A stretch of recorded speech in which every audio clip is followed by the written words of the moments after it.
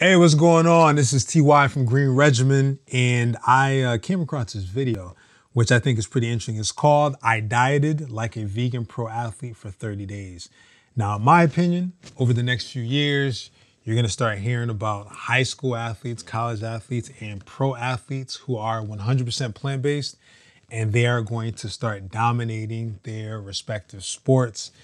And it's really just gonna take a trend like that in order to really help people or help more people make the shift over to a plant-based lifestyle. So let's check out this video. I haven't watched it yet, so we'll watch it together at the same time.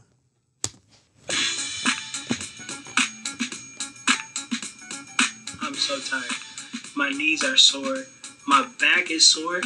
Like, what? What's up, guys? My name is Quentin, and I love working out and staying in shape. To do that, I always thought I needed to have a high protein diet and get that protein from eating meat. A lot of meat. But recently, I found myself watching a documentary on Netflix called The Game Changers, which follows the lives of many pro athletes who are not only choosing to do a plant based diet, but are thriving in their sports. So Game Changers is definitely a fantastic documentary.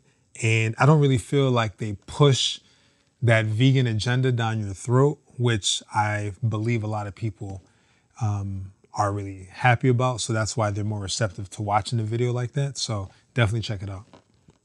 And that brings you to today.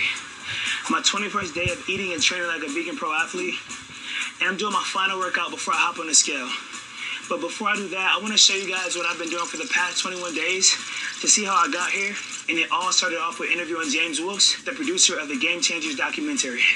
And make sure before we get into this, you hit the like button and subscribe. So, James, what are some of the main stigmas that you found with, um, you know, plant-based diets? Yeah, I mean, obviously, the number one thing is people think that if you're on a plant-based diet, you can't build muscle. You know, people think that there's no protein or not enough protein on a plant-based diet, and that's not true. You don't have to be into the environment or into animals to, to eat a plant-based diet. You can do it, you know, for yourself, uh, for the health and athletic benefits. How will I be able to get my protein if I'm not eating meat? Well, first of all, you know, all protein is really originating in plants that we eat, right? You can go direct, direct to the source. Some of the, the good foods that are high in protein in a plant based diet are going to be legumes. So that's uh, beans, peas, lentils, that type of thing, soy milk.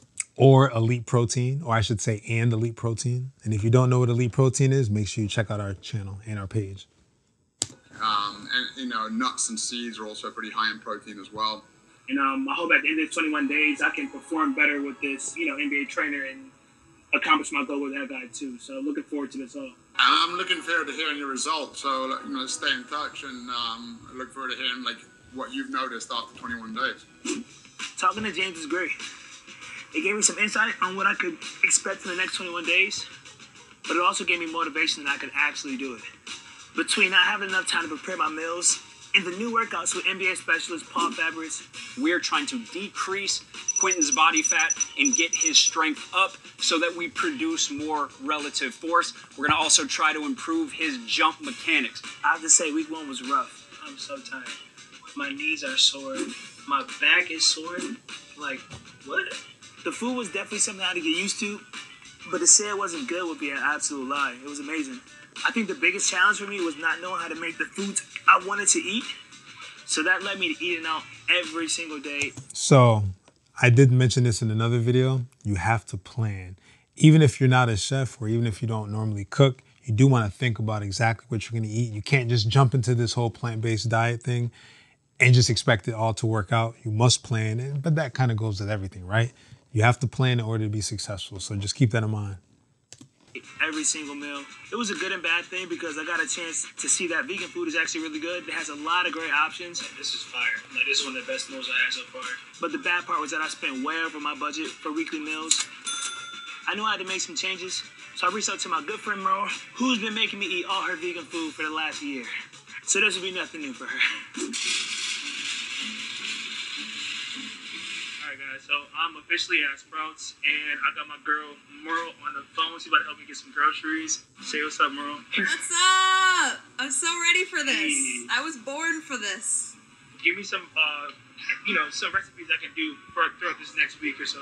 One recipe that I feel like could be really delicious, and that's a little bit different than like what you might see in a lot of like Pinterest vegan recipes. Um, are these Thai tofu collard wraps? Okay, okay, that sounds amazing. Actually, you know, you know, I love Thai food, so All right, so for this next one, we're gonna do a teriyaki tempeh stir fry. yo, How do you? that sounds fire. Yeah, right. Do you That know? sounds fire. Do you like tempeh? I don't, think- I don't think I've ever had it. To be honest, I love your enthusiasm. You're like, I don't know what that is, but that sounds amazing. I love that. All right, you ready for this last one? We're gonna do a little sweet treat. yeah, yeah, let's do it. All right, we're gonna do just an easy parfait, okay? Like some bananas, some strawberries, and then just some granola. Ooh, yeah, that sounds good. Yo, banana strawberry, that's my, that's my thing. I don't ever want veganism to be something that's scary for you, so just start with these recipes. If you Yeah. have any troubles, you can literally call me anytime, day or night. I'm like your your Okay. vegan lifeline lady. But also, like, don't be too hard on yourself. You know what I mean? It doesn't need to be scary. If you slip up here and there, it's really okay. Uh, but just do your best. It's Okay. gonna be. I can promise you, it'll be delicious. So what you notice is she didn't recommend any plant-based meats, no Impossible Burger or no Beyond Burger, which I'm a little bit surprised about, only because at one he's about 167 pounds and he's an athlete, so I would think that the macronutrient um, content of his foods is extremely important. But we'll see how he performed uh, on the tofu. Merle is one of my few friends who inspires me and encourages me to do a more plant-based diet all the time. All the time. And having her help me out for week two with groceries was huge. But I can't lie, once I got the groceries, that's when it got real and reality hit me again. Even though she gave me recipes that were super simple and easy to make, now I had to actually carve out time in my day to cook. And that's what I was struggling with. So week two started off a lot like week one with me ordering food. But I knew this was gonna be my last time because I was getting very frustrated with wasting money, especially not when I have groceries in my refrigerator. And on Tuesday, I started to cook my stuff and take it very seriously.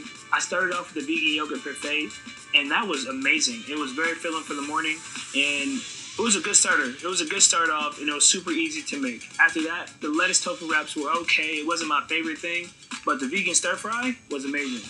And if you notice, so he's just using the tofu. He's not combining the protein. So, for example, it's not tofu and lentils or tofu and chickpeas. I am a proponent of combining plant-based proteins.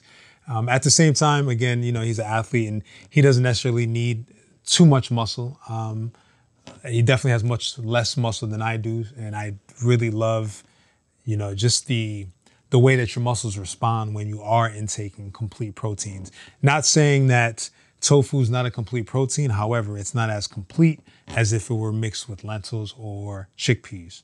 But definitely a healthy meal that he's uh, showing us here. We're actually making it right now. If I can get this and didn't have to cook or clean afterwards, I do it every day. So training for week two got even more intense than week one, and that led to my days being even longer than they already were. We said we train like an NBA player. Yeah, it, it, shit is no joke. One thing that worried me about this challenge was the fact that I had to have enough energy going throughout my day to do a full workout and then do all of my other daily routine. But yeah, honestly, even just finishing the workouts while changing my diets was very concerning for me because I have to have a lot of energy to do these high intensity workouts. So one thing I realized early was that I had to time my meals very strategically. So one thing I like to do was eat a meal one hour before I went to go training and one hour afterwards. My preference was to do a protein shake, very high in calorie. After I did that, I wasn't feeling any more tiredness from my workouts and I actually felt more energized. I was going to see But I'm just looking to see. I don't know. Do you see elite protein anywhere? I don't. I don't either. But in his next video, he definitely needs to have elite protein for sure. a little bit earlier, waking up a little bit earlier. But for me, that was perfect. Since timing became such a huge piece of week two, I knew I had to make some final adjustments for week three so I could finish off strong and be as efficient as possible with my routines and my daily workouts. I also wanted to talk to an athlete I know personally who's been on a plant-based diet for years, and that's my little brother Tyshawn. Well, look at that, huh? His little brother Tyshawn. Ha! That's funny. The irony. What's good, son? Like, tell me a little bit about your plant-based diets. I know you've been doing it for a while. I mean, man, my plant-based diet, I do it all for the uh, well-being of myself. Um, I feel like the food that you put into your body is information, and that information gives you more information about how you feel. You know what I mean? And we all want to feel good. So in order to feel good, you got to put the right nutrition into your body. What was it like? So I guess I'm not the only smart Tyshawn out here. like starting off for you? Because like you know when you go from eating meat to not eating meat, like that transition has to be hard for a certain amount of time. Like what was it like for you? to the vegan version of whatever it was. You know what I mean? So if it was like the granola bar, I would go look for the, the healthy granola bar. You know what I mean? I try to look for Yep. it a more natural way because I feel like if you're more natural, you're more close to your source and you being more who you are. So if you could just put those things that come straight from the earth straight into your body without going through all these uh, different processes, you become more uh, from the source. You become more vibrant, and I just love the feeling, man. I've been in it five, almost six years being a vegetarian, and every year that goes by, it just reinforces the strength of it. You know what I mean? And now I'm just really vibrating on a high level, and I never want to go back because I know what I'm doing it for. So it was really important for me to have somebody like Tyshawn helping me out through this week. So one of the most important things he told me throughout the week was that there's no right or wrong way to do it. It's all about you doing it the best that you can. So I decided to go just the delivery service route because I feel like that fit into my lifestyle. And I knew that from before when I wasn't doing vegan stuff. So that was the best option for me. It allowed me to be able to eat before I worked out, but after I worked out, and any time throughout the day if I felt like I needed some food, I had a meal right there. So, you know, it's not for everybody, but for me, I really enjoyed that. I mean, if nobody told me this wasn't real meat, I wouldn't know. It's pretty good. So this final week, as far as training, was really difficult. So we were preparing for our midway review for my vertical jump. I can't lie, I was feeling great.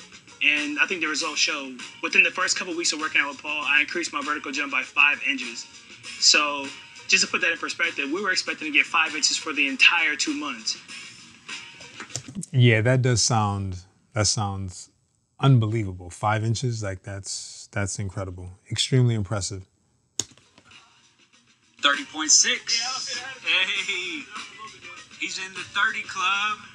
That exceeded his expectations completely, and now we're looking at a whole completely different goal. And that brings me to today, my 21st day of training like a vegan pro athlete. Gonna hop on the Etekcity scale one more time to see what we've done in the last three weeks.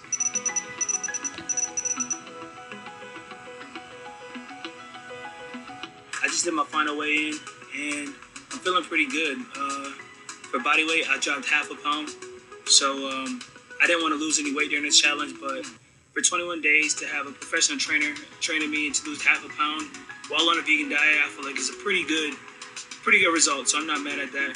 So my visceral fat dropped from an eight to a seven, which is really good, and my muscle mass increased by a whole one percent.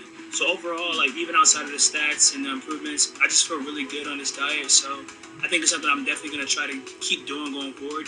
I'm not gonna try to be vegan or be vegetarian. I'm just gonna try to do a plant-based diet as best as I can, like maybe 90%. So um, yeah, I don't want to put too much pressure on myself, like Merle said and Ty said. Don't be too bent up on trying to be perfect. Just try to be as good as you can and just do the best you can do. Yeah, I think this is great. Very, very honest video. He gave you his um, his his outlook post this video. Like he most likely won't continue to be 100% plant based, but he's done it long enough to to know how he can fit it into his life, you know, and how he can improve his performance and improve his health. And that's all that I want for everyone watching this video. So glad you watched it. Very, very informative. Make sure hit the like button. Keep following Green Regimen. We'll continue to have awesome videos and commentary for you. All right. See you next time.